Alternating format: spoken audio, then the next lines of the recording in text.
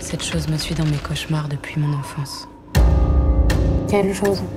Marianne. C'est une sorcière. Privée de corps, LR, elle investit ton âme. J'ai écrit ces bouquins pour lutter contre elle. Et comment Lizzie se débarrasse de Marianne? Je sais pas.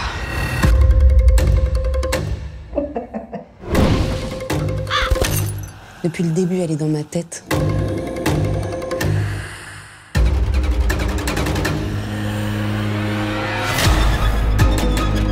Je te préviens. Je vais punir. Et je respecte toujours mes promesses.